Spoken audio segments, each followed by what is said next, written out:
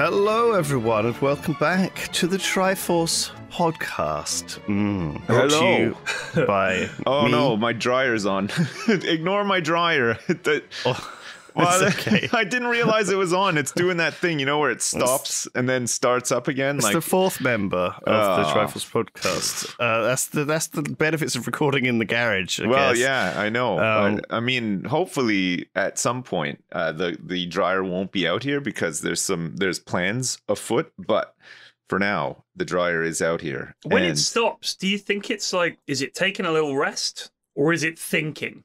It's is that it's how like long a- it takes the dryer to think? No, I think it has like a sensor in it where it can like detect moisture or something Right. like that. So why is it stopping? Because it gets so hot in there, it can't detect moisture anymore. I see. So it's like, oh, so it's it done. waits. Yeah, and then yeah. it goes, wait And a minute. As the heat dissipates, it picks up more moisture. It's like, Right. hang on a sec, these aren't dry. Gotcha. then, Captain, the towels are not dry. Must turn on again. So I've got a setting on mine that is cupboard dry extra. yes, I have that Mm. setting Right. too. So cupboard dry, Yeah. how is that different from any other kind of dry? Because dry is dry. Yeah, surely. well, I mean, dry is dry, but like, I, like, there's a difference between, like, for example, drying your clothes outside on a line, right. uh, as opposed to putting your stuff into like an airing cupboard after it's been dried. Like, it's a different dry. Like, it's a, it's it's less Define it for me. it's less crisp. Like, it feels like, uh, it feels like the like the clothing is still not wet or even damp, I would say, but just like not crispy dry like it would be outside. it's still malleable It's- rather than well, that look, rock yeah, hard. yeah. There- if you yeah, if you dry something outside, it's like dried. it's like holy crap. It's like you you you bring in a piece of cardboard, right? Like it's just Right. But Yeah, when- there's there's obviously you don't want to put stuff in the cupboard if it's still got a chance of being wet. You know, it's not it's not ready to go away, Yeah, right? yeah. But there's obviously levels. You know, you've got sun dried, which is obviously But that you you're, know, you're- talking about the methodology of the drying. oven dried. Um, that would be quite right, weird. but here's the thing: I'm never putting it away in the cupboard unless it's dry. So for it to be called cupboard dry must mean there are other forms of dry which would be acceptable to, for example, wear or store somewhere outside outside a cupboard. But what are they? What is what is other the the only dry I need is are my clothes dry enough for me to put them away? I mean, there's also the option of ironing them when they come out of the tumble dryer. oh come on, well, you who's could different doing that? people have different hanging requirements, though, too, right? Some people won't hang their stuff out unless it's certain level of dry. And then maybe you might want to hang it outside. You don't want it to be. Were you going to tumble dry it and then hang it outside? Oh, we've got both, yeah. A lot of in the people do that, in the yeah. summer, hanging stuff outside is like, man, it's crazy. right, but you don't tumble dry it first. no, of course not. No, you just go straight right. out So there. what yeah. I'm saying is, you're never going machine to line, so you don't need it to be line dry, Like, where you can then hang it on a line. The tumble dryer. Why not just we, hang it on the line? We we use the tumble dryer a lot in the winter, obviously, because it can't really hang clothes right, out. right. But um, in the in the summer, we we still use it quite a bit, but only for towels, linens, and stuff, Right. right? Because like you can't Okay. really put that on the line because it's awful. They always hang down a little bit. So they just go yeah. they, they just go rock hard too, like um like my my dick um, when I'm thinking about laundry, obviously. But um, um, no, like uh, it's like the, so the tumble dryer like makes stuff soft, you know, when you when you I don't know I don't know what it is. You can put those sheets in sometimes as well, like those drying sheets that have like the the, the nice smell on them. I don't know. I think that like softens up the fabric too. Uh, we don't use them, but like I've I've I've seen them before. And um, but yeah, like all of our other clothes just go out on the line because you can just you can do so much uh, washing, and like our line's pretty big, so you can put a shit ton of stuff out there. It's great. Like uh, the turnaround time for clothes drying in the summer is insane. It's like so good. well, I've looked Dude. up on Montpellier appliances oh yeah, the definition of popular tumble dry settings. right. Okay. Sensor dry. So sensor dry means that the drum sensor has detected the moisture, and as soon as the clothes are dry, irrelevant of what cycle you put them on, it'll stop. Right. Okay. So sensor dry means just tumble them until you think they're dry. Just just do it. And when the drum says, yeah, they're dry, I'll take your word for it. Extra dry, which is slightly longer cycle time, you're forcing it to, to dry for longer, and it ensures that bulkier items will dry. Yes. All right. Ideal for things like bedding and towels. Yes. There you go. Yes. Cupboard dry. This setting ensures your laundry is dry enough to be put away immediately once the cycle is complete. Right. Now, my question is what's the difference between cupboard dry and extra dry? Because if you're even drying out bulky items with the extra dry, I would say they would also then be cupboard dry, I, d- you know what? which means Maybe one it- of them must be less dry than the other. Maybe it's No, just no, a no. feel good setting. Maybe it's just like maybe Yeah. it's a setting they put on there Yeah. just to appeal to the older demographic of people buying like because younger people aren't really gonna um, understand the notion of an airing cupboard, right? Like they're not gonna they're not gonna appreciate the cupboard dry, whereas like your mom probably will, sort of thing. So she goes out and buys a dryer, and she's like, I don't know what a sensor dry is or anything, but I Tell me when it's I, armoire I, I dry. love an airing cupboard, and there's a button Armoire on here that says Exactly. cupboard dry, so Airing that must dry. be it.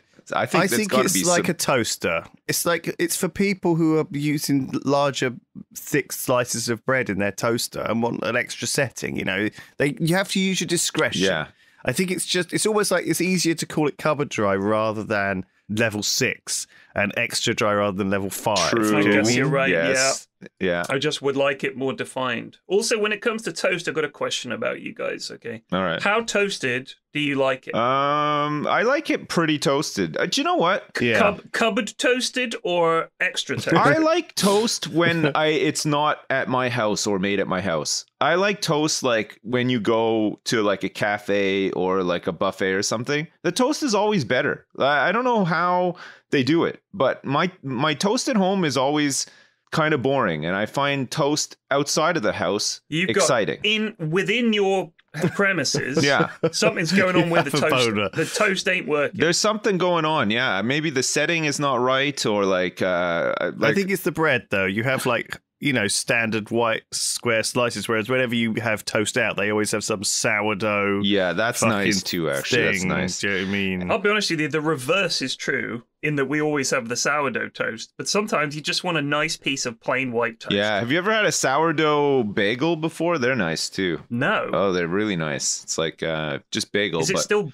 is it still boiled? well, yeah, it's all the same. Like I, I don't know like how they do it, but it's just like a, a thicker Hmm. bagel. Like it's just really nice. It's hard to get a good bagel from the supermarket. Um, yeah, they're all know. flimsy, right? Like do you ever get, just get those ones where they just go like floppy? Like they're not. They don't have It's not- any. it's not a uh, bagel. They don't have it's any just bread in in a circle. Yeah, yeah. It's bread in a circle is not a bagel. Yeah. That's that's not a bagel. Need It's not the solid. You need it solid, right? And you have to have Yeah. some seed on it too, like some poppy seed or some sesame Oh, you seed. like or, that, oh yeah, yeah. Big. I don't want it seeded. I'm a big fan of some seeding. You do need a bit of Yeah. seeds. I like there. my bread Yeah. smooth as a as a baby's uh, loaf of bread. Nice, yeah, That's how I Really? nice, Yeah. nice. No no I shit don't on think it. you're supposed to give babies loaves of bread. I yeah. don't know. Well, no, I'm you not, not not to give them, but they make them. That's baby bread. They just bake it right up. Do Fam- they? Uh, famously. Is it- Bake that shit well, in the I, oven. I like my toast. Yes, I, no black on it. I don't like any like Excuse me? char Oh, grilled really? bits of burn. I like a but little I bit. like. I, I, don't like, mind a little bit. Have you ever had an open campfire toast before? You ever toasted bread? Campfire toast? Yeah, you ever toasted uh, bread like on an open fire No. out in the wilderness? like a marshmallow. It's kind of nice, actually. On a Yeah, stick. you, Remember, uh, we haven't portaged like you have. some so- uh, so- some serious burning can occur if you're not careful. But there's like a there's some there's a special tool you can get where basically it's like a sheet metal Oh, I've in the seen shape of a piece of bread. And you can put the bread in there and just hold it over the fire to stop it from burning, but it toasts it up real nice. Man, it's kind of Mm. good. Like, well, it, like It's like you're holding up a sort of banner Yeah. with um, a bread- bread slice a- of a bread, bread in it. Toast. yeah, We Yeah. support toast. Yeah, yeah. That's the banner. We should. Well, this podcast has been going for six years Mm. now. yeah, mad, Um, isn't it? And we keep That's- mentioning yeah. portage. We're going to get too old to portage if we're not careful. We're never gonna Um, portage. I'll, I'll spoil that for you. come What? on, never say never. you never know. Wh- might- One day you might Have have, to do time. a portage. Who knows? Like, you never know what the future holds. I am not ever doing something like that. People die out there in the wilderness, and uh, I've got no interest. They in don't it. die as Sorry. often as you think they do. It's like still too much. like the, the the modern preparations, you eat those MREs and stuff like that. You're you're halfway there, honestly. Yeah, Like in my kitchen. yeah, but come on. I mean, it's what's the difference? You just uh, you know, open it up in a trench that you dug yourself on an island that you've portaged to next to a hole that you dug to poop in. Like it's it's all the same. That sounds like really It's all the same shit. Uh, this is what I don't get about it, right? Is you're going out of your way to have to do things that are otherwise convenient where you are. Yeah, I don't no. want to have to dig a hole to poop. It's in. not I've a- got a it's not don't about want to have to build convenience a when you're- fire. I've got an oven. When you're doing a portage, you're not doing it to experience convenience. You're doing it to experience something a little bit different to the norm. So think of it like hanging out your washing as opposed to cupboard drying it. Yeah, you of know, course. Th- th- you lose So something. you're comparing you know? hanging You're out feeling your a little bit saucy one day, and you just you just think, you know what? Screw this modern life. It's time for a portage, and off you go with your No, MREs and your spade. You're ready to. I'm good. That's all you need. Little tent. Happy at home. Yeah. Thank you. Yeah. So you're It's not like you're not character into building. camping. You're gonna have to take your Cottaging? kids No. away and do this. No. no. They need to be given this education. No, they don't. You know, they can't grow up all sheltered and and and coddled with their sourdough toast. They never, absolutely they never know can. what it's like to have a normal piece of white bread They do toasted know. on a fire. You know how over they know? portage. Do you know how they know what it's like Hmm? to have a normal piece of white bread? Because we got an Ocado replacement item the other week that was they they couldn't get our regular bread, so they gave us a big old doorstop Man. thick white bread. I, I, I honestly, I get, I, I get supermarket deliveries of, of food to, to houses and stuff like that, and how that's become really big. And and honestly, I do understand the whole Deliveroo delivery of food uh, to house thing. But do you think it's gone like a bit mad now? Like, uh, like, like, there's people saying that they're spending like five figures a year on like food delivery and stuff, and to me that that says that that's all they eat which is kind of crazy no like i like that that can't I, I know. I know cannot be that order right. out for every meal. yeah Like they never cook. They order in everything. That's th- And that's I think that's uh, crazy. That's alarming to me. Like I I, I think well, that I think it's a s I think it's so easy though. It's a slippery slope as well, right? And also, it's like if it's cold and you're feeling miserable, you know, you could just kind of do it. I And I think yeah. that when you have disposable income, why not? But yeah, I much like everything, you're not going to have it much is expensive. disposable after spending five figures on delivery food a year, though, right? But we all. That's but like this is all this of is your just the latest thing, though. That's the. it's that's always It. was people before that though. It was you know we were like, oh, it's crazy that people go and buy a eight pound Starbucks coffee and sandwich every morning. yeah, now it's right? But become hyper normalized, right? that Like everybody does it. really. Like, to, I suppose it's up to people what they want to, how they do their self budget. You constantly see these like um reddits where it's like you know money money saving and things like this and they're like just just trim out all of your unnecessary expenses and then you know you look at someone's budget and you realize that they're just like wasting vast amounts of money having Yeah, you know overpriced sushi delivered or whatever to their it's to their crazy. places every day I used to go out when I worked at, at uh, in an office. I, I designated myself as the guy who would go and get the sandwiches in the morning. right. right I, we sat in a large, it's like a not an open plan, but it was like cubicles, you know. Um, so the team I was on was reasonably big, and this was when I was on the, the team. We were all about the same age. We are all in our sort of twenties, apart from maybe a couple of people. So we were all on the same page when it came to being hungry, uh, the way young people are all the time. And we were like, I was like, uh, anyone want a sandwich? And I'd always get like three or four people saying, oh yeah, yeah, yeah. I wanted to just get out of the office. So people thought it was like a nice thing I was doing, I guess, but I think in the back of their minds, they must have realized that I knew it was a guaranteed half an hour outside the office because I have to get all the orders and then go down to the shop, which was like a 10 minute walk. I'd really go very slowly, get in there, get the order, come back. I could I can imagine you like sauntering down and Exactly whistling. right. Really not in a hurry. And then come back, and then of course we have to eat the breakfast, and then there's a bit of oh, oof, oh, that was just that hit the spot, oh. And prior to that, that that would probably take me to about ten thirty in the day, because I'd wait till about ten. That's when I'd do the sandwich run, and I'd come back and we'd eat. So that's like a full half an hour wasted.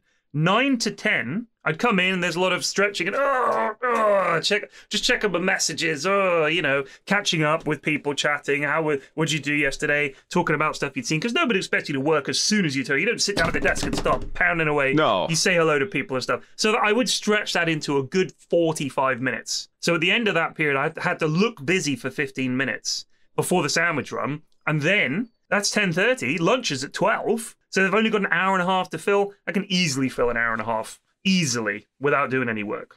I was a terrible employee. Well, I mean, I, most people Well- are though. Well, I yeah, I think. was, I was just about to say how like I think most people are pretty what did you do where they said, "Why haven't you done any work today?" Well, luckily, um, they never really gave me any work to do. Yeah, that can happen. It was always I know that. just not giving me any work. And well, I've they give started me to be a something, bit and I like just that fart around for a myself. bit. Some of it wasn't very Like, difficult. I, I did this thing the other day where I put together this like spreadsheet, and I was like, "I've done the spreadsheet. You know, we can use this." And someone was like, "Oh, I've I've done I've done that as well. Can we use my one?" And I was like, "Sure," because I just didn't want to rock the boat. I was like, you know what? If you're going to just do the same work I'm doing, waste your time. You're wasting.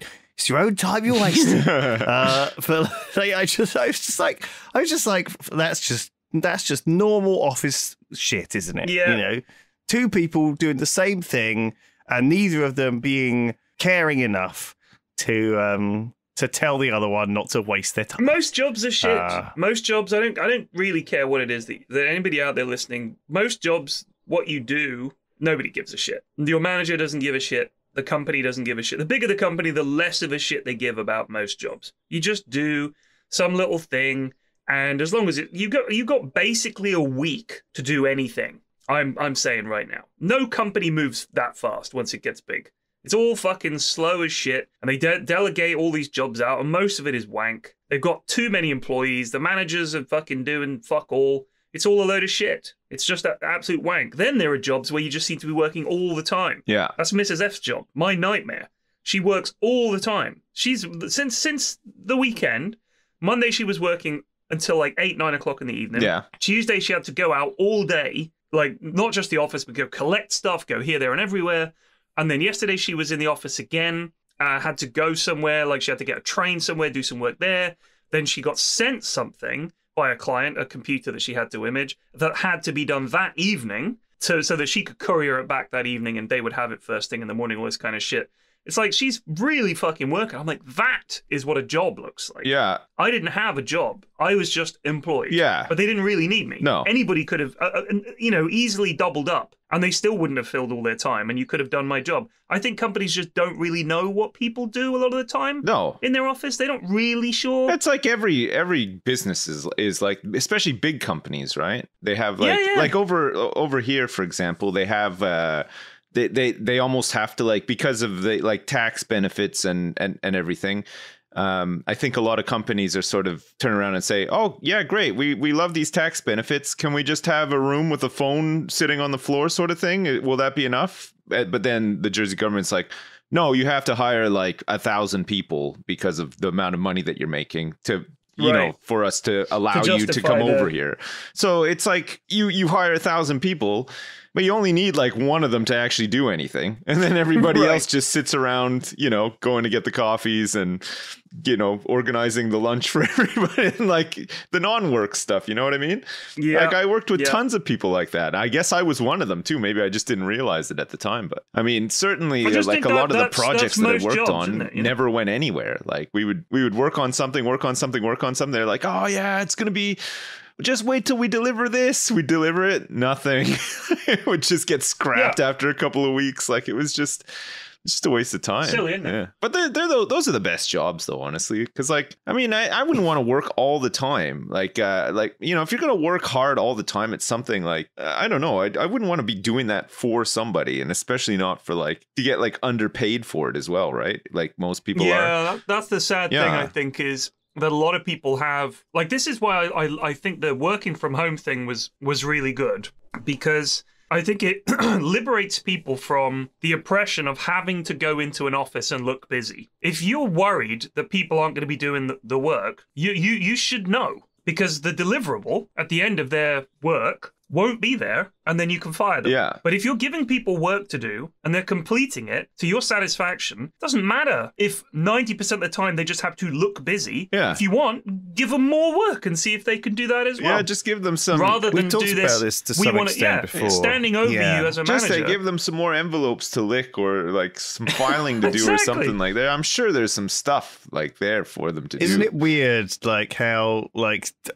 but but I think it varies, right? Like, This reminds me of thinking about Elden Ring. Okay, Now, I don't want to. Here we go. I don't want to open that can of worms too much. Obviously, I've been sick for the last couple of weeks. Um, never actually tested positive for COVID. I went through like five lateral flows, and then I had like a actual PCR that I had to mail off. Right. yeah. Um, there's like a priority mailbox you can send a PCR back. don't want to empty uh, that so- mailbox, by the No, way. I gosh. don't want to be the postman on that. Yeah. Christ. Holy crap. Anyway, thanks. um, sent it off. Didn't actually get a positive, but I felt crap, so probably did have COVID. My partner had COVID, so um, I probably did have it, and it was it was shit. By the way, just don't want to don't want to go into it too much. But the main problem is I'm one of these sleepers who's like really sensitive. I'm a sensitive little boy. I can't. Yeah. I'm not. I'm not one of these people like you guys who can basically just fall asleep sat upright with the dryer going and a child screaming in your ear on a plane. Do you know what I mean? Like, there's like, at any point, you guys are somehow everyone I seem to know is somehow able to fall asleep well, under well, any nature just prevails though like that's the thing after you you can only take so much until you get to the point where you're just like fuck it i'm sleeping like you, No, you know? that's not how it works for me. I just get more and more weird and tetchy and uh, tired and frustrated and yeah, it, doesn't. Anyway, I, I had a few weird sleepless nights because first I had like a feverish night, and then I had like a phlegmy night, and then I had like a coffee night, and then I had uh, it was just every there was like night after night. I was just I felt super jet lagged, super Yeah. shit. I didn't get to go to GDC, no so I'm a bit upset about that. And then um, I I, I um I ended up playing a lot of Elden Ring, which. I've got a lot of things to say about, but, but, but, Oh, but no. obvi- obviously, to, it's the segueing fever him dream from review, the worst type of review. I was at a really low point in my life and decided that I would play just this game. Here's my review.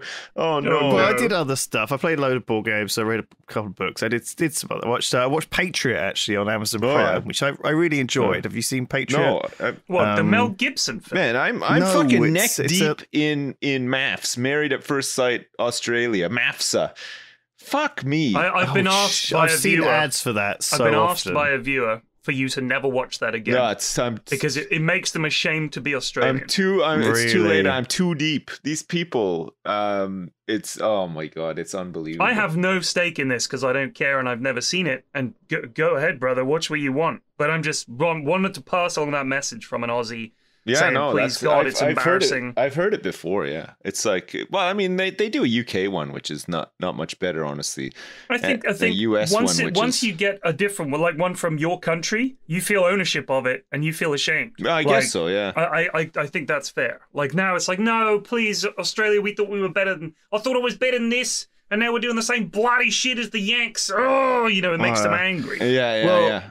Yeah, I've got we'll think about that to go through as well. Actually, a second, but we can we can wait on that. Um, so yeah, Patriot, I really recommend it. It's like it's fairly it's a couple of years old, but it's like a comedy kind of like it's like if James Bond actually had to do some really awful shit, and then it kind of it comedically um worked out. I don't know. It's kind of it's kind of cool. I like it. I recommend it. But Right. um yeah, Elden Ring. Partly I wonder because it was they, they took eight years to make this game and it shows, right? There were clearly guys coming to the office every day. Some of them were going in saying, Oh, can I do the sandwich order? But others were just pl- plugging away, building like a new creature every week for eight years. Do you know what I mean? That's Is that's that how long it it, took to make the game? Yeah. Eight Eight? years. And, um, I thought it was five. Is it eight years? Five is a long time too, man. Like imagine working on the same thing for even five years. Five is I mean, a long oof. time. Yeah, huge, huge effort went into it, and, and it shows, right? And then at the same time, you have like, okay, here's my hot take: No. Elden Ring isn't actually very hard. Okay, Okay. here's my here's my hot take, and the reason is is that it's sold a lot of copies, right? It's Yeah. it's sold, let's say. uh, Well, it's got 300,000 reviews on Steam. Yeah. So that means obviously one in a hundred people leave a review. So that's about 30 million sales uh, in the first, you know, month. That's quite a lot Mhm. of sales, right? Sure. Uh, Yeah. maybe more. I don't know. But yes, that's that. A lot of people have bought Elden Ring. A lot of people are, are, are wrapped with the hype. A lot of people who've never played a game like this before have bought Elden Ring. Yeah. Um, it's their first Dark Souls. You know, a hu- huge amount of people. Uh, th- this is like a huge, huge game that's had huge, massive global hype. Everyone's bought into it, right? yeah. What do you think, like the percentage of people who have, I don't know, let's just say killed the first boss is, right? Twenty Um, percent. Yeah. Like probably probably twenty percent. Because a lot of people will just not have started playing yet. I Yeah. guess. And or given up or just Yeah. not liked it. okay, the first boss. Uh, Are we talking Margit? Fell Omen. Yeah. Okay. Oh, I thought you meant like I thought you meant the one you come back. Is there a to. tutorial boss, or is this just out in the world? There's no This is tutorial first- boss. You No, mean no, the no. first like legendary boss, like the actual? Yeah, the first legendary boss, Uh, Margit Fell Omen. Yeah. Let's say let's say seventy five percent. Seventy-five percent. Well, first of all, on Steam, you, so you're saying that not only have so you so okay, the first boss is quite hard, obviously, Margit? but yeah, Yeah, but it's but you also like You got like- you got my boy to help you out. You got Are you still playing it, Flax? Fuck yeah, dude! Holy crap! How long I've got it? seventy hours in it now. Jesus. The point, the point. Okay, let's let's pick a different boss because that is actually seventy five percent. Right, let's all right. Name a hard boss in the game. Uh, God's the God Godskin twins. I think Okay. it's Godskin. There's the, the long lad that can go all stretchy, and the lad that can turn into a mush uh, like a Godskin marshmallow. duo. Yeah, those two Godskin lads. Duo. Okay, how many? What percentage of people who've bought Elden Ring have that achievement? That's quite like far into the game. Fifteen Uh, percent. I'm gonna say twenty percent, maybe twenty-five. I'm gonna say twenty-five. Oh my god, it's exactly It's twenty three percent. Holy. Okay. It's it's a huge. Uh, I mean, if we were going to look at stats similar to this for Cyberpunk, I mean, I bought the game like because it was so hyped. I haven't played it yet. Like, Yeah, I, I've Exactly. I own it. I have never hours it. launched it to play it. So It's so bad, dude. Don't bother. So, the, but the reason I'm saying those numbers, Lewis, is because most people that get a game don't have 70 hours free to stick into it. Like, I understand that I'm in an exceptional position. I, I think these numbers are incredibly high. I, don't know. I think twenty five percent Uh, of people who bought Elden Ring having already killed Right. Godskin Duo, which is like sixty hours into the game, right? was Right. it was it a hard player. boss or did you find that one easy He's hard. too? He's hard. He's hard. No, because God- Lewis was saying it's hard. not a hard game. So like I. No, I think he, I'm he's, expecting he's a using story the about metric. like a one shot or When something. s- but, but but if it's if it's a hard game, how are twenty five percent of people killing one of Because the hardest bosses in the game? It's a very popular game. There isn't really anything like it. Like, it's a genre. The Souls are like. yeah, but I feel like it's right? one of those games where you can just practice and and you'll eventually just beat everything, right? You you will get there. Like the fact is, the bosses don't come up in in the traditional way because you can go away and level Right. and just say, all right, that was hard. I'll go do some other things, get some levels, improve my weapons a bit, Come improve back my, and then my my summons a bit, whoop his or ass, whatever yeah. it is, your spells, and then come back and I'll beat him. I'll be five levels higher. Maybe that'll make a difference. And Right. also, I, I think that the, the the thing that I've noticed because I normally do not play these kind of games is things that they've made easier are the fact that you don't have to fucking run through half a level to get back to where you were when you died. There are save points everywhere, like really, really frequent. So you'll beat a bit of the game, save, beat a bit of the game, save, and you can recover your runes when you die, hopefully. Sometimes you'll miss out, but runes are easy to come by. The main thing is loot. Finding the loot, getting the loot, killing the bosses for the good loot, because that's how you really push your your character. The levels you can get, you just go fucking farm that metal ball that falls off a cliff if you want, or go find an area where there's a bunch of easy to kill enemies and kill them over and over again if you want. So the runes thing is it's great, getting like 200,000 runes from killing a boss or whatever. Fantastic. But the main thing is the loot, getting those items, unlocking that shit, getting the bell bearings and buying just, oh yeah, my ultra leveled plus 20 mace. Oh, like that's how you win the game. And I think in terms of difficulty, it is hard, but it's fair. The game is fair. The bosses Dying present 2, their attack to you in a way where they're like, this is how you beat me.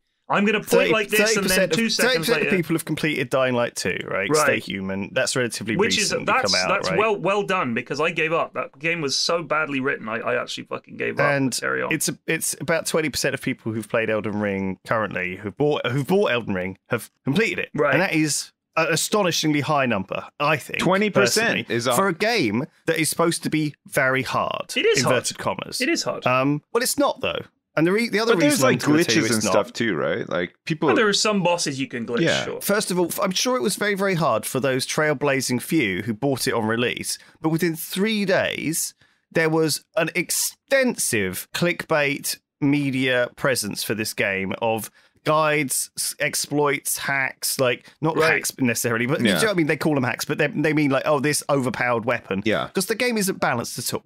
You know, No, but people Um, go for that kind of stuff too, though. Like, you, but the you, point like, is, what I'm saying is that if you aren't good at games, it doesn't matter, right? Because you can tab out and it'll tell you how to be good, right? With one, well, I typing in one that. sentence. So there It are does. some fights where you, you have to dodge really, really precisely, time your attacks well, figure out how to beat the boss. And if you, as long as you're not over leveled for them, there are some bosses that are really, really hard. They and there are some that are really, really easy. I, Yeah, yeah, I, there are. On my first playthrough, I got to a boss, died 20 times, got to the next one, one shot him. Got to the next one, died 20 times, got to the next one, one shot him. Yeah. And it was like very, very. Whereas you, you hit the boss one time and he died. Well, you basically, you know, I- well, I didn't die killing him. Do you know what I mean? I killed him and didn't die killing him, kind of thing. And I didn't expect to kill him first time. Do you know what I mean? Yeah. It was. I but- beat some lad who had a girlfriend in an egg. I can't remember his name. There's lots of blood. I killed him on my second try, and people were like, "Wow, I think you you're over leveled for this area." Was was, was what they they fumbled for. Okay. Because I'm like a level 115 or 117 or something like that. Sure. Like I've been playing the game a lot, and these are the bosses I should be beating. I'm approaching the end of the game.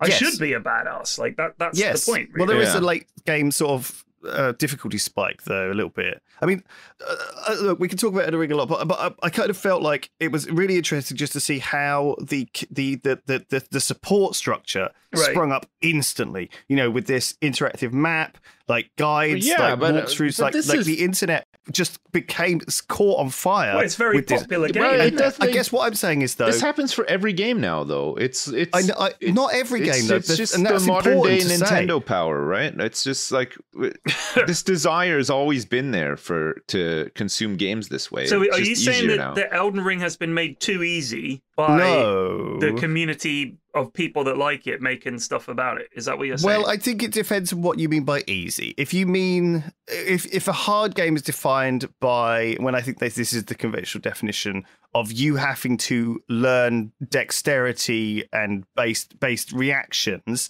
to a a standard, you know, you have to. Eh, eh, I think Elden Ring is a lot of learning. Okay, it's like every area you go into, is it some. There's you have to remember there's a guy behind that pillar. There's a skeleton behind that thing with an arrow. You have to dodge across this bit, run across this bit, do the whole thing, and then you're done. Right? There's this. There's this whole like you're constantly learning moves and actions and where locations are and where people are, and it, and that makes it harder than you just pressing A and mashing or or conventional games that that that, that make it easy for you, right? I think, but the point is that here's my point.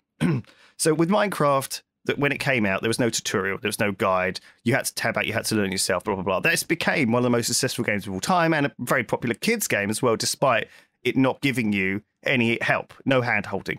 Ever, recently, one of the things I've experienced is a lot of game developers and a lot of games people I've talked to have gone back and put in these extensive tutorials. They've gone back and made the new player experience. Yeah. There's, there's a lot of talk about this new player experience. The idea that that you know the gamers are fucking stupid, right? And and and dumb, and they won't understand how to play a game, and so you have to teach them, and you have to. Blah, blah, blah. But all you do sometimes in these tutorials is is turn people off more, right? Elden Ring does not hold your hand. It doesn't give you any guidance. It just throws you in at the deep end, and you have to figure it out yourself. And and you do end up figuring out a lot of it yourself. But whenever you get stuck, there is that safety net, right, where you can tab out and fi- find it, and it works for Elden Ring because it's so massive, right? Yeah. Elden Ring's community has created this entire guide to the game where anything you're looking for you can find it at at a glance right instantly right whereas a less popular game let's not say dying light 2 but uh, maybe doesn't have that that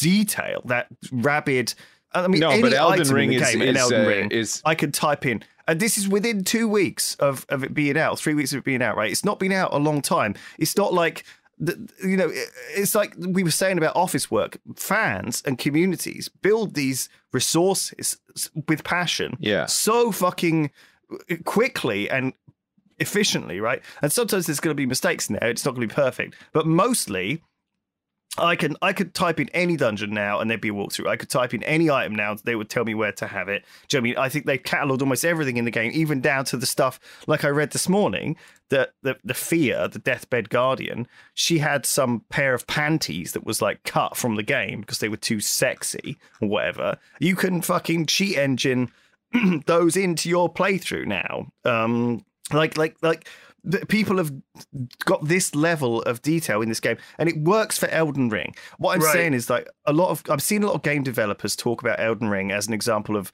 bad game design. And everyone who who says anything about Elden Ring being bad in any way is shouted down Yeah, by the very, masses. very and much. almost like they should be. Like in a sense like if you're complaining about Elden Ring yet you've completed it four times and you know put 200 hours in sure you could give some feedback but your feedback isn't necessarily right because obviously something has worked with the game that made you do it that much. If you start saying, "Oh, it would be better if it was like this way," uh, well, would you have played it as much? Would you like it as much? How do you know? What Like, are the criticisms about it? it's the the secret source.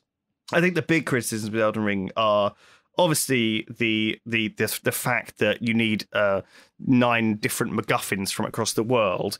Uh, that are only available in different spaces, at least early on, to upgrade your weapons and spirit ashes. And so, as a result, you constantly are be given all these rewards, like oh, a spirit ash of a new uh, a pony, a dog, a marionette, a soldier. A thing. I'm never going to use that because I don't have 19 separate s- s- um, you know upgrade materials. So what? You can only get this stuff by fully exploring the whole. No, no, world no. in- Like let let's say let's say that I want to like your your your build that you're going for is very much about a certain kind of sort of stat build, if you like. Right. So sometimes I'll get a reward from a chest or from a boss that my character can't use. Right. No, no, ninety nine percent of items in the game, Sips, you will not use, and the reason that that sucks is because th- th- there are upgrade materials that are in the game, and you only naturally come across enough to upgrade one or two weapons, Yeah, yeah. and one or two spirit ashes in the course But, of the like, the- Yet you're given fifty weapons and fifty spirit ashes, and there's no reason,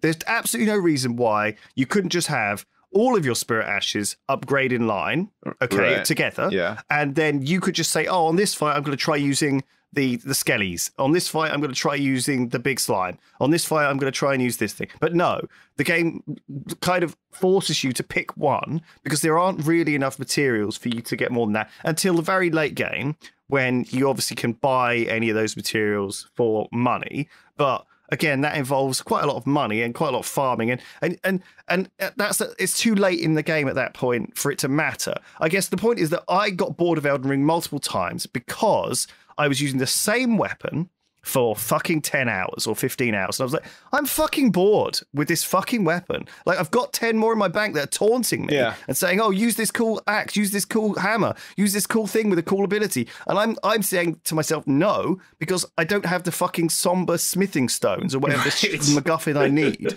to upgrade this fucking axe. And so I'm not going to use it. And that made me not want to play the game uh, a lot of times. I, I think I think the I, I, I take that point, and I, I think you're probably right that there's. I mean, I don't understand why.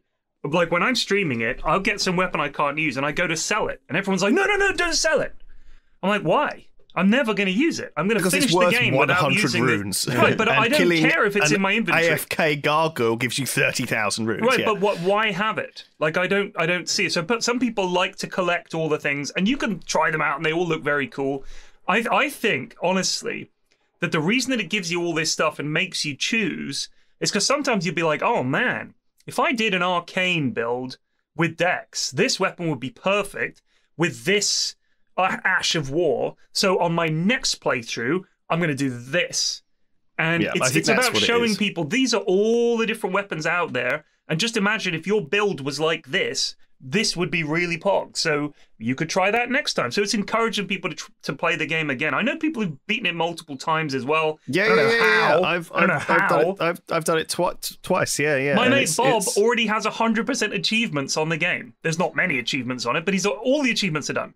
He's on them all. I think it's it's a game where you want to get all the achievements. Yeah, Right, as well, right. The, the, the genre is is huge, right? Like it's very popular. Like uh, like there's a lot of It's it's a really really cool game. I've fandom gotta around say. like and the I- Dark I Souls those, games and stuff. like Like those weird thoughts about it. has that kind of community to it, like the, a very dedicated community, right? That that want to find out all, all the Mm. things, I speed running. Also, like I think it's really really immersive. Yeah. I mean, I, I I I my first playthrough I did as like a pure sort of shield sword guy. And then they nerfed, um, they actually nerfed Barricade Shield, which I was using, um, Right. which is the one where you shield up, and when you take shield damage, you don't take any stamina damage. right. So you can kind of just tank like these huge, huge hits, Yeah, and yeah. then sort of counter in, which is really, really fun. Oh, Oh, yeah, sorry. Poor Lewis. Lewis- We're dragging I'm this, out these steam. words out of you. He's he's And then um, spluttering. the second one I did was was sorcery, and either either I was used to the game or sorcery was just incredibly easy because I pounded my way through that game the second time as sorcery.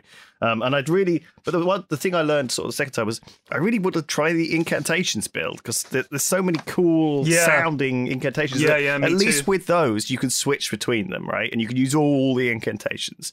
Um, whereas I, I guess it feels like it's weird because if you're playing sorcery, you can use all the spells.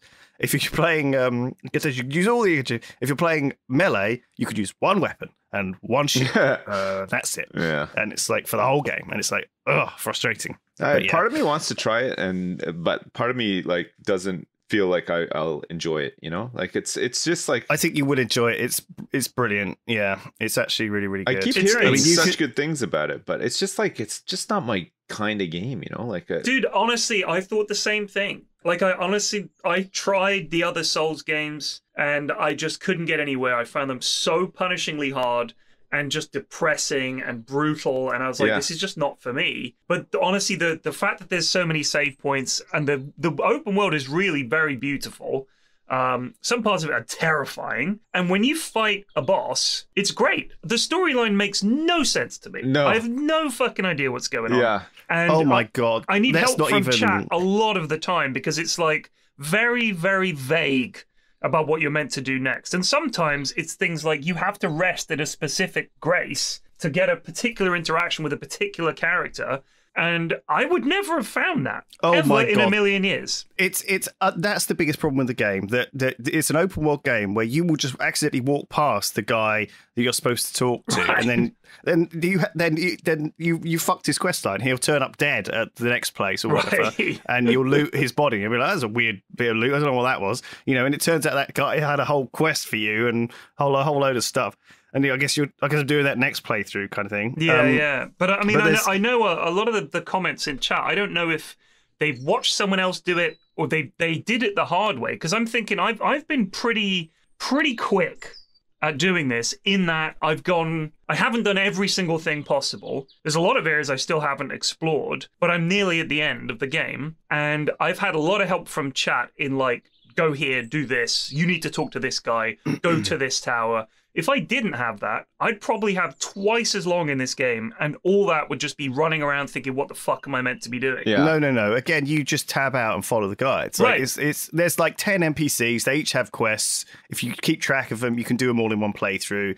They, Right. they, you know, and it, and it actually is a much more fulfilling experience when you do that because you realize you hear a lot of plot, you hear a lot of characters. First time I played it, I barely talked to any NPCs. I didn't even know what I was doing. There's this woman who asked for like a Shabriri grape. Yeah, okay? yeah, the great. And I'm like, okay, sure, have a grape. And she's like, thanks. And I thought that was it. Turns out the grape, I'd never read it because I never really go into my inventory and press R or anything. The Shabriri grape is a fucking moldy eyeball, right? Ugh. And she, and she eats these fucking. She what she doesn't realize until much later in the game, once you've given her like five eyeballs, um, that she's eating fucking eyeballs. oh, And this this leads to an alternate ending, which I didn't even know was in the I game. gave her a grape. I yeah, gave that's her like a a rotting eyeball, Oh my god. and she uses those because You're she's gonna blind. get the eyeball ending now, Lucky. Oh man. You know, don't know now if you, want the now you eyeball fucked But ag- it. again, that process of, of oh, I looted a grape. I don't know what that is. Oh, she wants a grape. I'll give it to her. That was to me. That was just something very throwaway, right? Yeah. But actually, that is like a whole thing. And the, the, the problem with it is, is that you have to actually go into your inventory, find the grape, look at it, press R, read what it's about, and be like, oh, a rotting fucking eyeball. That's disgusting. Yeah. You want to eat this? Okay, sure. And then you know that it makes your decisions a lot more. But I wouldn't put it Um, past half the characters in the game that that's exactly what they want. Like they're all fucking crazy. I know. Every, the whole world is is It's a it's a really bonkers wild. world. Absolutely bonkers. But it's it's kind of refreshing in a sense because it is so completely wild. Like It like is. the just everything about it is yeah. I'm I'm a big fan. Uh, big big fan. And plus, you can kill everyone. You could even like kill that turtle pope. You can just kill Yeah, you can kill don't the like. Pope? Turtle yeah, Pope. t- he's a turtle pope. Turtle Pope. You, you know what? My friend Sir Action Slacks has been playing it. he's the and pope. He's also a turtle. He's yes. been playing it in a very unique way. In that Mhm. he's like playing as a completely naked caveman with a club, right. and that's his playstyle. Like he's just running around as a caveman, struggling against things. He beat this one boss who he's not really a boss. You don't have to fight him. He's just standing there outside this building, and he he spent over an hour running up behind him on his horse, hitting him once, hiding, waiting for him to de-aggro, and then doing it again. Just did that over and over and over again for over an hour and streamed it. And I was like, that's definitely one way to play the game. But the thing is that the because there's so many ways to play it, I think you can go for that cheese build if you want. Yeah. Or you can make it incredibly hard for yourself. You don't have to read all the hints and tips online. Like the, the game basically lets you make of it what you want. kind of I've I've found myself sometimes trying to do something the hard way, the honest way, and then eventually being like, "This is too hard," or Right. I get to like one percent and like get killed by some bullshit, like a combo that I can't dodge or some bullshit, and I'm like, you know what? Fuck you! I'm just going to cheese this," and I stand in a doorway, Right. Or I or I, or I get myself on the edge of a building and I just fucking kill the boss where he can't hit me. Yeah. Do you know what I mean? And I'm like, "Fuck you, game." Right, Um, because it is hard. And if, if there's anything you can do to win, you can do it. Like it's it's like there's no honor in no, in but uh, like I, I I'm up for doing that stuff if I figure it out myself. You know, like if I'm having a tough time and I stand in a doorway and it works, I get that sense of satisfaction. Like right, I've done it. them. But I They're would I, it would be for me like to go off and look that up and then do it and then feel good about it. I would not actually feel great about it, sort of thing. You know, I wouldn't have the same satisfaction if I just you know kind of randomly uh figured it out myself and then and then done it you know like it, it just feels better to Mm. do it that way in, in my opinion i know it's like oh, it does. thing, You're but- totally, totally right. I, and I think that I think you have to you have to trick yourself into believing yeah that you've you've had a good time. I like the I like um one thing that like uh, I really like in, in in gaming like on this on this subject is I like discovering stuff. You know, like I like you know like people who just rush through a game and min max the hell out of it and look up all these efficiency guides and stuff. I get it. Like I I get that that's their version of you know finding something satisfying or whatever. But for me, it's like I like to I I just like to have time with the game and like I like to try to figure it out. You know, like. I like to. Right. well, that's I- fucking. if you want to go in blind to Elden Ring, holy shit, that would be hilarious. Fuck. Well, I probably I'd- would though. That's that. the thing. It's, I mean, I'm not. I haven't like watched any streams no or chat. videos. Like, I'm just not No not help- no interested in the chat. game. So it's not. um It's not something that like I've you know like looked into. Like if I'm playing something, I'm interested in it. I'll have like you know videos or whatever on in the background, sort of thing.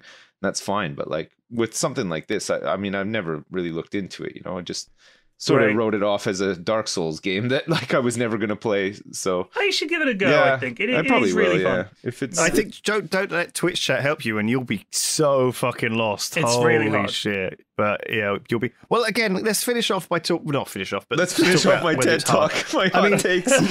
my hot take is that I, I guess in a sense it's uh, it's hard, but it's like building a brick wall. Do you know what I mean? Like you like you you, you do it brick by brick, and it's done. It's not hard. It's doable. You learn it. It's learnable. It's it's not it's not hard in the way that I'm never gonna be good at chess. I'm never gonna be able to. I'm never really gonna get a feeling of that I'm good at chess. Do you know what I mean? I think chess is hard. But I think Elden Ring is like a WoW boss. It's like a series of WoW bosses. Yeah. Do you know what Elden Ring is to me? It's a series of really hard WoW boss fights that you have to learn the choreography Yes. of and do the special dance, Yeah. right? Combined with a load of those horrible Mario Maker levels where it's torture. And literally, the, the, the whole thing is like 10 platforms, but behind every. So it's like the first thing is like, oh, okay, okay, I run across this room and there's a hole there. You run across the room and in the hole is a skeleton and he kills you. So, okay, you run across the room, you kill the skeleton, you get in the hole, and you run across, and then th- then as soon as you kill the skeleton, the hole falls through and you die. Yeah. So you're like, okay, It's just- so you run it's across the just room, kill the mastering skeleton, a do- dodge the hole, yeah. do the thing. And and there was this one place, I think I remember it was, I think it was called like Wyndham Catacombs or something, but Is this the one with me- the, the chariots of the, that push you into no, it wasn't. There was some of the ones with chariots so and shit. grim. But there was this one where literally every single part of that uh, dungeon was designed to troll you. It was like it was like a, a perfect troll dungeon. It had like 10 components and every single one caught me and killed me.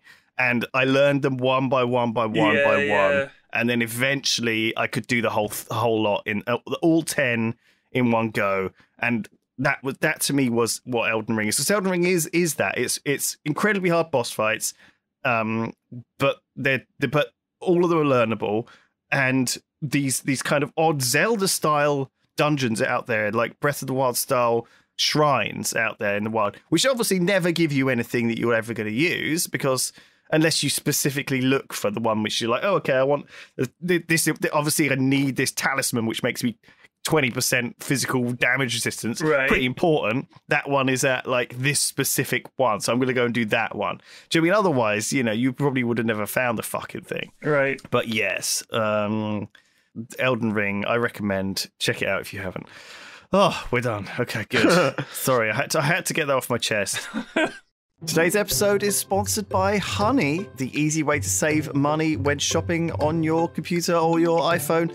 Uh, I actually did use Honey this week. It was Mother's Day. Oh, uh, of course podcast, it was. Uh, this weekend. Shit. And I happened to go to a site that I don't normally use, and it has a voucher code just appeared in Did there. you uh, did So- you make sure that you sent your mom the receipt so that she could see how much of a big saving you got? Yes, so thanks to Honey, manually searching for coupon codes is a thing of the past my mum would approve, Yeah, actually, hell yeah. Of the coupons. She if doesn't told have to sit at the kitchen table cutting them out of the newspaper now anymore. It's all digital, baby. Got my, Exactly. my coupon book right here.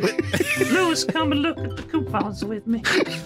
Wow, look at all those savings. Look at the savings. Uh, I don't have to type those in. Honey does it automatically. It's free. It scours the at the internet. Sit on my lap and look at the coupons with me, just like Wow. times. Look at those promo codes. Think of the hours we could pass looking at coupons, but no more with honey. It's taking the fun out of coupons. it's ruined the coupon time.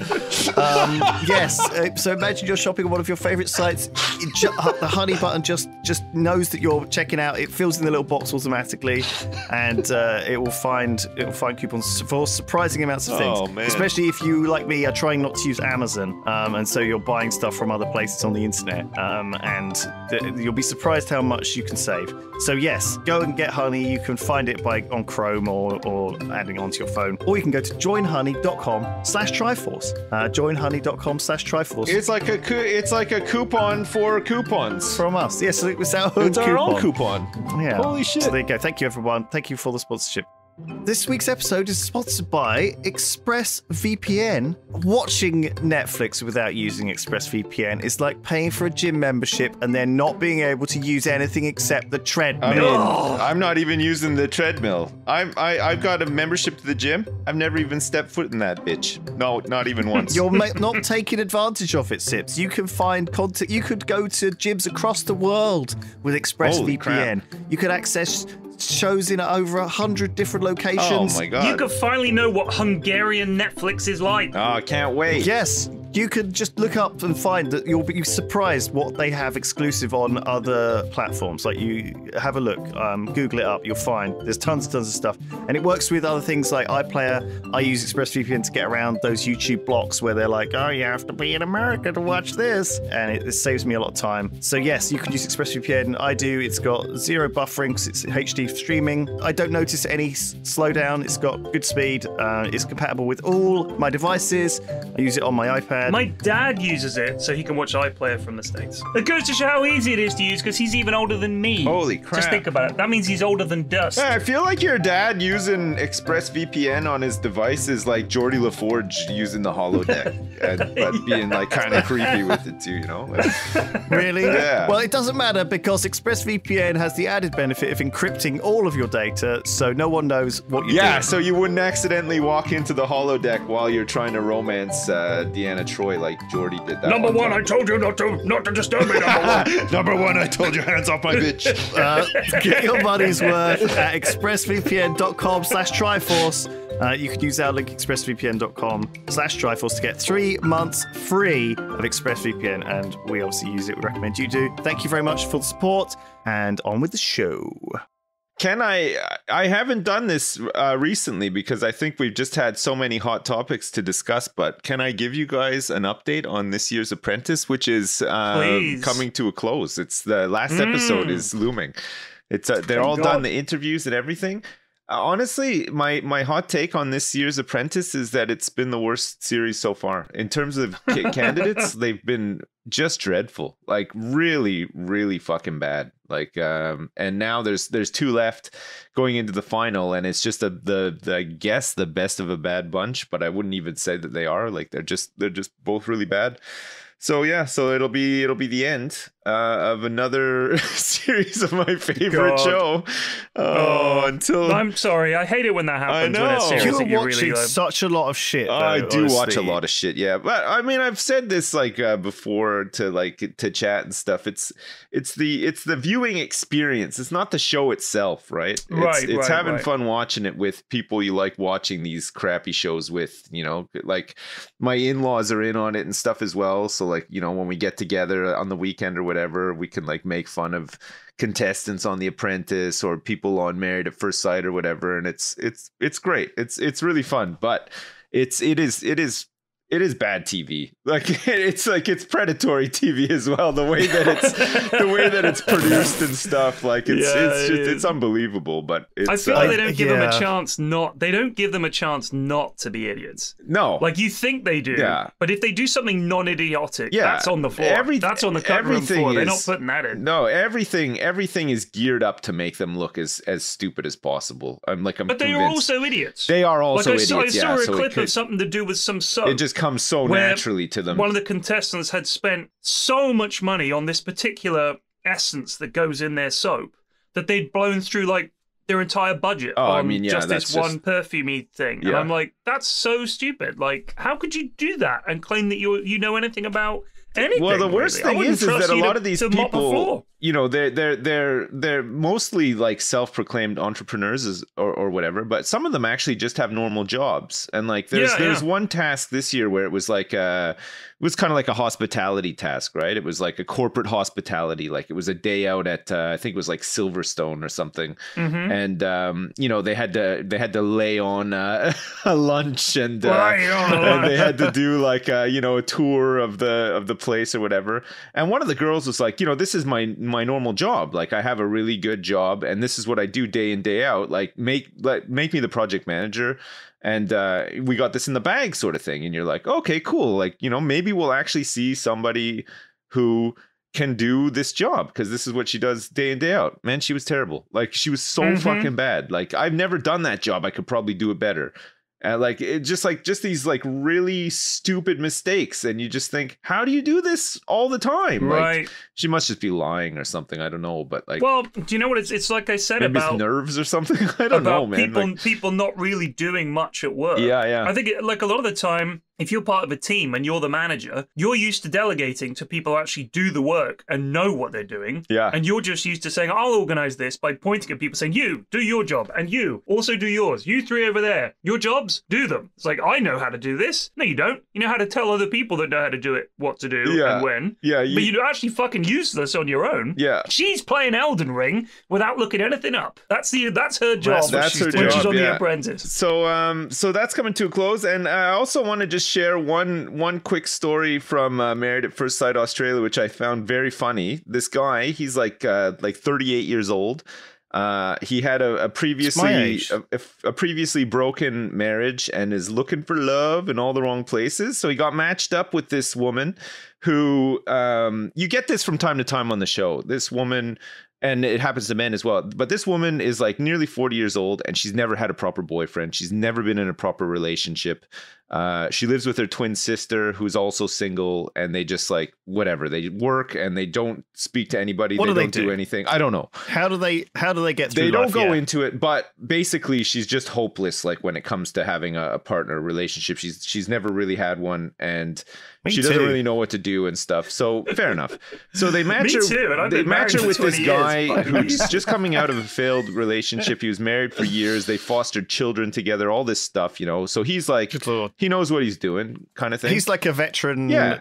family man. so they get Yeah. married. Like the the the first, you know, they they at first. they sight. come into the show like they they they were late late joiners to the show. They they were like another wave of like uh you know couples or whatever. Reinforcements. Yeah, yeah. Well, there's been like nine fucking seasons. well, of this yeah, shit, but people so- leave all the time and stuff. You know, they get mad. So anyway, they're getting married, and this guy is like, you know, you could see it in his face. He's just like, can't believe his luck. Like he's he landed this this girl who's now his wife, sort of thing. Is she really good looking? Um, I mean, like she's uh, she's okay. Like she's not like she's not like drop dead gorgeous or anything, but she's like whatever, you know. Like she he, he season seems to really like her. Wait, what season is this? on? season nine, yeah. season nine. So- and what, what was the name of the couple? Oh man, I can't remember. I Tamara I just and call Brent? them old old person one and old person two, even though they're younger than me. they're just older Oh, than see. Everybody else. I don't know what their names are. Anyway, so they get married, and it's like kind of awkward because again, she doesn't have any experience. He's like he's got more experience and stuff, but also he's like a bit of a he fancies himself as like a bit of a ladies man, you know, like Right. feels like he's pretty good at picking up women, like you know, in social situations, blah blah blah, whatever. So they get married. It's all very like nice. It's like, oh, you look nice. Oh, yeah, you do too. Nice to meet you. Whatever. They do their vows and stuff. It's all part of the show. Yeah. And then after Yeah, that, yeah, they do like a photo shoot, right? Like eh, like you would like in a normal wedding, right? But it's you know they they don't know each other, whatever. So they're doing the photo shoot, and this guy is like he you know he's he he admits it like when they're doing the talking head parts of it he's like you know i'm really just like a like i'm i'm a really touchy sort of feely guy you know i like to to touch a lot and stuff like that and she's just like i don't like to be touched. Like i'm not a touchy person whatever. So whatever. They they clash like almost straight away. So they're doing the photo Right. shoot and he's got like his hand on her hips and stuff. And at one point he's like uh they're they're like okay do you guys want to like face each other? Maybe like kiss or something? You know we'll take a picture. And she's like no i, I don't really want to kiss or whatever. And he's like holding her by the hips close and he's like come a bit closer my dear like whispers it and you're just like oh fuck this is this is awful. Like this is so Oh. fucking creepy. Like who says that sort of thing? And you could see in her face she's like what the fuck? So she like gets a bit closer and they're taking pictures and stuff and he's like oh by the way sorry about my breath. Uh i had some chicken twisties before i i came here what is this show? It ah. sounds awful. What an Australian thing to That say. is the fucking I line couple of twisties. that's the, the fucking Sorry line it doesn't matter like you've just met this person it doesn't matter Oh, how sorry nervous about you my are breath. you don't say that you had some chicken twisties before you turned up to a wedding with somebody you never I met don't think the chicken twisties makes your breath that bad. And right after like, you I mean, it's not like he had a fucking tuna pate sandwich. Come closer, my dear. It's like it's like that That's fucking creepy. meme, you know, the one like the the mm, pungent, this the smelling one. You, you, you ever see that really long ass one? Yeah, yeah. He's it's like him. He's he's that he's that meme. The like He sounds mm, like a, that's the kind of thing a spider would smells say. and- Come closer, my yes, dear. It's I like a know. spider. It's so fucking weird, man. But like that's just one example of uh, like a million examples every day of the stuff that happens on this show. Like it is it is really hard to watch, but Well, it's do you know what? hilarious at the same We- we time, would- man. This is in this is interesting. This whole this whole episode feels like we planned it, but we didn't. Right? There is no fucking guide to how to pull. No. There isn't.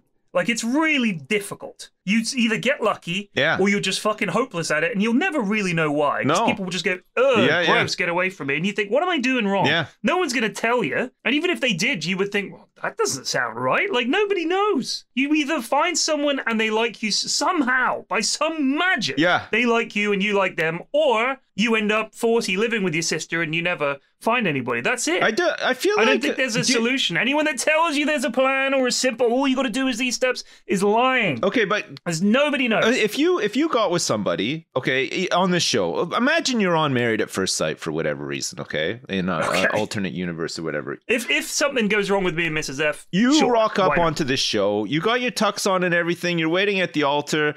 Uh, this woman comes in. You turn around. She looks great, and you're like, "Okay, cool. Hi, yeah, my name is Ted.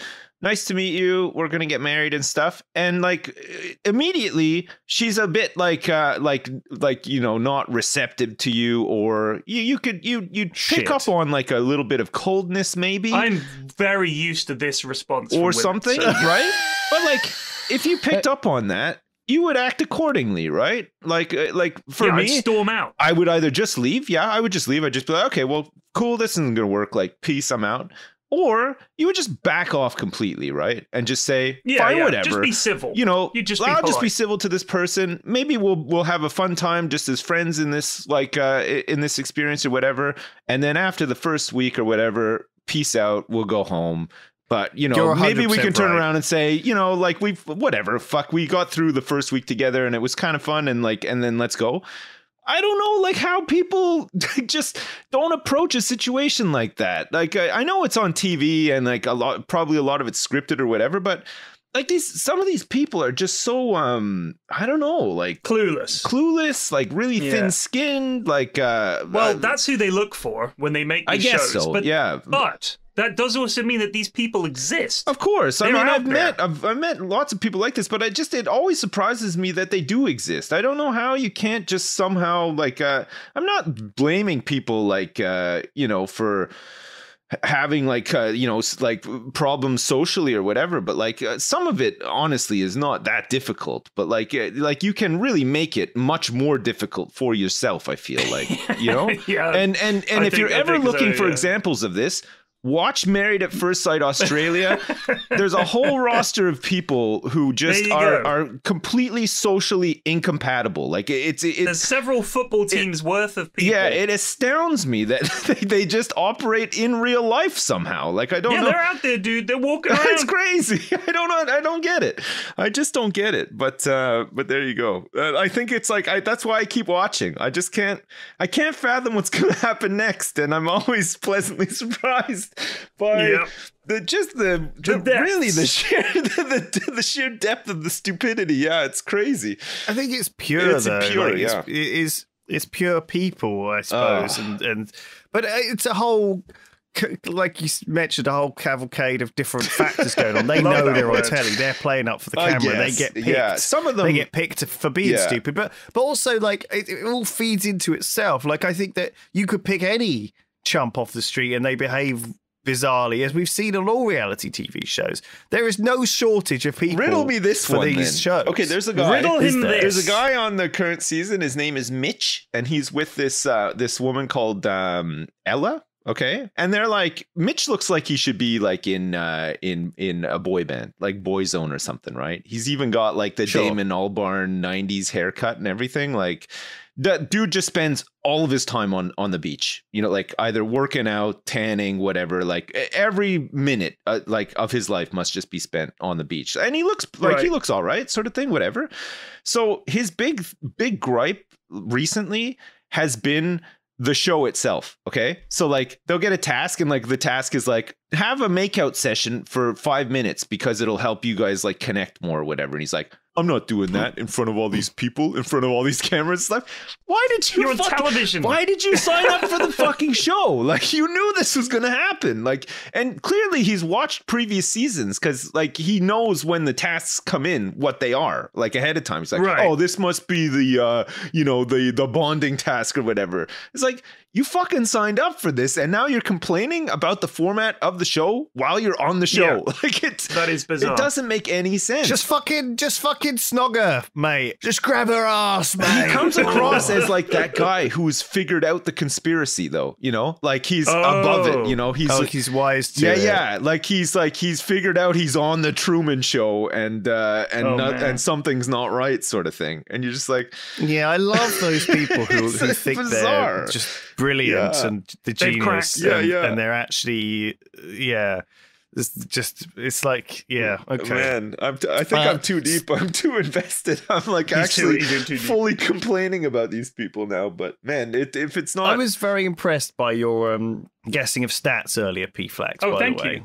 And I thought, since we're talking about the average person, I thought we could. Uh, I found this this sort of poll this week, which was like what Americans thought about America, basically, Right. Right. And how what what percentage of them? Um, okay, so so for example. What percentage of Americans have a household income over five hundred thousand dollars? Okay. Um, I'm gonna say. i'm gonna say like 30% uh, I'm gonna. I'm gonna say five percent. Okay, it's less than one percent. oh Right. right gosh okay, because and this is a big problem, isn't it? Oh, like, the income, not house value, like actual household just income. Yeah. I just thought I just thought that like the I just thought the upper middle class was like really big in America, or maybe it used to be. I don't No, know, but I guess no. not anymore. I It's just guess like over five hundred thousand is not uh, upper middle class. It's- even though, it's man. a that's, lot. That's a lot of money. Um, man. what about having a household income over a hundred thousand? Oh, I'd say like percentage? thir- like thirty percent over. I'm going to say 10%. Yeah, well, actually, no. It's thirty. It is thirty-eight percent of okay. American households have an income. I over think that's the more the, the middle class I was I guess thinking. there's two of. people working as well, right? Yeah, yeah. Yeah. However, what percentage of Americans own a car? Oh, Oh, my like god, I'd say 90%. Yeah, I'd say tons, like super high percentage. It is ninety percent. Yeah. You guys Right. are nailing this. Very, very good. However, when the Americans were polled, they only sixty-six percent. They only thought sixty-six percent of Americans owned a car. I think it's really I, it's it's it's easy enough to own a car because um you can get uh, you can get like you can lease them and stuff as well, right? You don't have to.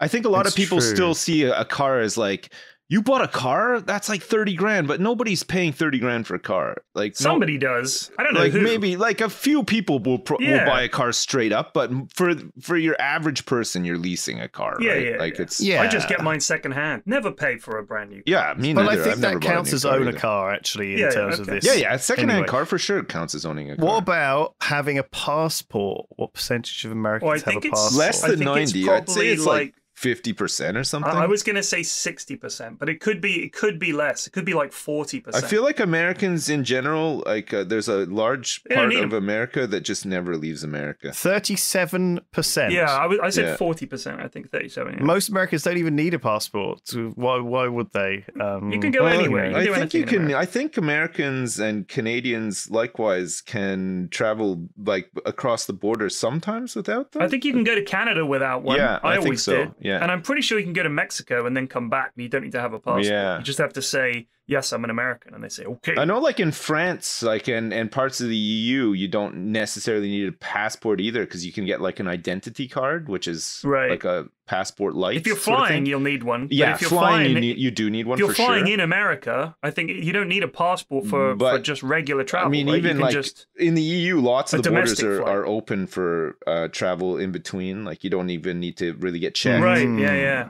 So like once you you're can drive from France to Germany without yeah, showing easy, anything. yeah, yeah, super yeah. easy. What percentage of Americans have read a book in the past year? Oh, like twenty percent. I was going to say fifteen percent, but yes. it's actually seventy-seven percent. Oh, Oh right. wow. Well, I guess Um, you got to define book. Does yeah. the TV guide count? Does, Does the, the articles Bible in count? Playboy magazine count? I guess so. I, gu- I don't know. Um, what about are married? Percentage of Americans. oh, it's got to be lower now, right? Hmm. Because I, I think I'm going to say thirty-three percent. I'm gonna say like uh, I'm gonna say thirty-two percent. Oh, It's nice. actually fifty. Ah, Wow, I win. I'm surprised actually. Fif- Like I, I feel like in the West, uh, like generally things, a lot of things have just become so throwaway, right? Marriage. well, that is. I mean, fifty seems like percent of adults being married is that is pretty fucking low historically speaking. It is, Yeah. yeah. historically for sure. That is a lot. Man, that's nuts, eh? Also, um, what percentage are Catholic? Um, Oh wow. Catholic. I'm going to say twenty percent, maybe twenty-five. You got a lot of Hispanics and a It's lot of 22. Italians. Yeah. 20, 22. Got that? oh, Sorry, 22. you just nailed it so well, Flex.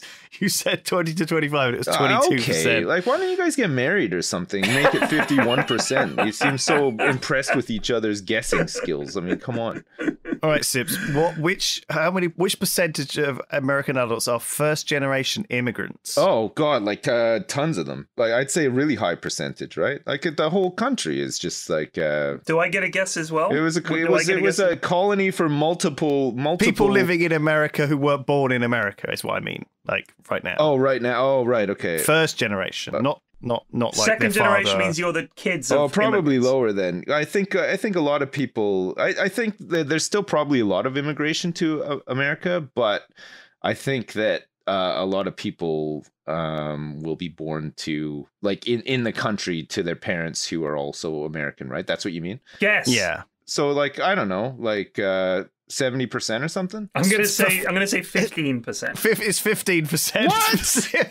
First generation immigrants, like like people who have immigrant immigrants at the moment, like Mexicans coming in, Yeah, and yeah. Polish people and Chinese, they're not seventy Oh, I percent. got the wrong way around. now. Sorry, yeah. You meant the other Oh, way around. Yeah, yeah, I meant the other way around. Sorry. Sorry. All right. I'm not, I uh, I should ask asked not. I don't. I don't feel like that was worded very well, but it's. I I think it was worded badly. fine. Okay. I think it was worded What fine. percentage of Americans are military vets? Oh, I- it, that'll be higher, right? Uh, it's like uh, I, I, I, it's it'll be it'll be higher than we think, right? It's not going to be like one percent or something. I'd say it's like twenty five percent. I'm going to say 5%. It is five percent Oh. or six percent. You are amazing at this. Why are you so you. good at this? I don't know how you know Yeah. this so well, but but Sips's guesses are very much in line with regular cho- people's choices. So actually, like according to this General poll, perception sort of the stuff. S, the general perception is that f- that forty, so forty percent, 40%. Americans, Americans They think over 100 and, like 150 million people have served in the Exactly. military. And so, are you out of your fucking minds, America? I know it's bizarre. Um, what percentage of of Americans are black? I think it's Um, I think it's, it's around 20%, but I could be yeah, wrong. yeah. I think it's twenty percent. It could be wrong. It's but- uh, well, generally Americans think it's close to forty, Right. But actually, it's only twelve percent. Oh. okay. Yeah, uh, roughly, and there's actually more Hispanic um, right, right. uh, people living in America now. Seventeen percent are Hispanic, and only and six percent Asian, one percent Native American, two percent Jewish, one percent Muslim. wow. Okay, some interesting stats. Sounds Very like they're low- taking over to me. very low, especially the Native American one, because uh, you know if you said how, what percentage of people are Native American, you think oh, I would have thought less than 1%. Yeah, in all yeah, honesty. no, there's it, not. it is it is it's not a huge between population yes, of it is. It is less than one, but but yeah, there you go. Um, some interesting stats. You're a, you're an interesting one, P Flax. We'll finish off with one. Okay. What percentage of people in America own a gun? Um, I'm gonna say like um like twenty percent. I'm going to say 50%. Oh my god. well, Sips was closer. It's thirty-two percent, which is still a huge number. That's a huge number. There's yeah. more guns But- than people, so I figured a lot of people would own one. Well, yeah. apparently, like uh, uh, apparently, it's it's it's tougher to to o- to own and be licensed for an actual gun legally, um, but it's just very easy to to buy ammunition and stuff. That kind of stuff you can just get kind of anywhere, right? Like at Walmart or whatever.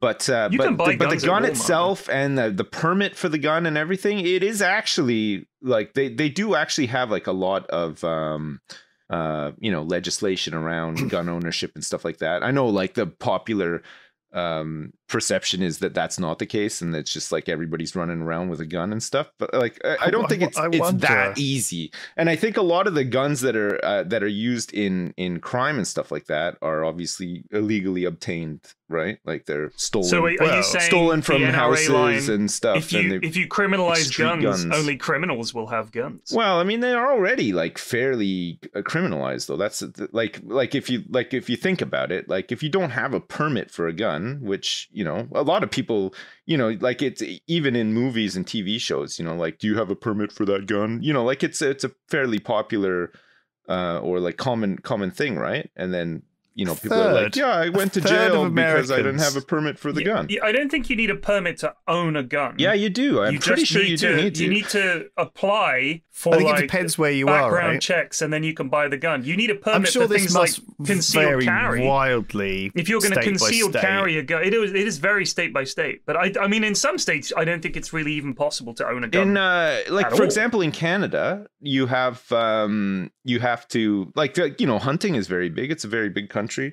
and there's a lot of gun ownership in canada but like uh having a permit to to own a gun in the first place takes a while and then when you do own a gun um there's certain things that you have to do with it as well like you you have to have a gun cabinet that's like uh, secure you have to like lock up your guns you got to like chain them up I think and- it's probably the same if you want to own a hunting rifle in the yeah, UK. c- well, and it's the same in America too. They they have all that stuff as well, but there's just I, I think it's I think the availability of guns and and I think the fact that I think one of the big problems and don't quote me on this because I don't actually know a lot about it like they they just like bits and pieces That's that I picked up along the disclaimer way. for this entire podcast. Absolutely. Relax. That's like the tagline. But I think that the the big Triforce. difference is don't quote us because we don't No. actually know anything about But I think the the big difference is in Canada, you can buy guns, but none of them are like military grade, right? Like you can get hunting rifles and stuff like that, but you can't get like a you can't go to to a place and buy like a machine get gun. M16. Yeah. Right. Yeah. Yeah. So you can you can have guns in New York. I just don't know anyone in New York that owns a gun.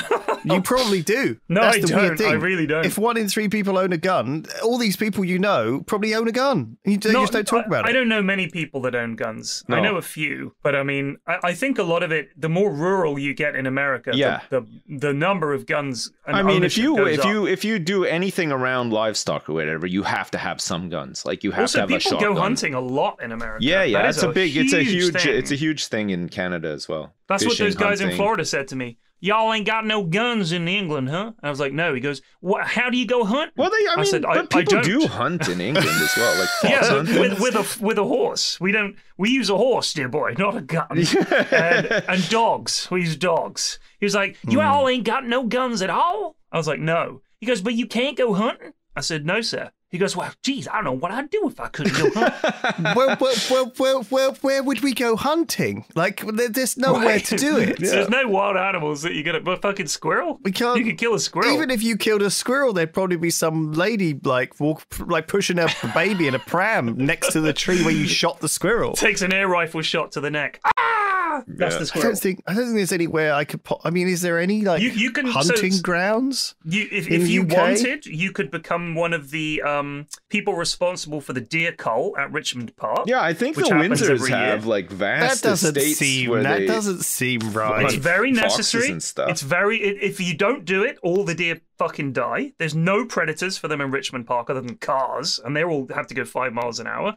So the only real predator is men with guns who trim the population. Otherwise, all the deer suffer and the park dies. Why don't we just lift the speed limit? Just generally, just Because then them. you're putting people at risk as well as deer. This way, you just kill the deer. There's always going to be those married at first sight people driving into the deers to cull the numbers. Do you know what I mean? It's like um, let's just First let's date, just let's mash go run together the deer idiots. over. Yeah. know I Come mean? closer, my dear. Come closer, my dear. oh no. That's it for this week. I need a poop. That's a good one. Thank you, everyone. All right, we'll see you next time. Bye. All right, bye.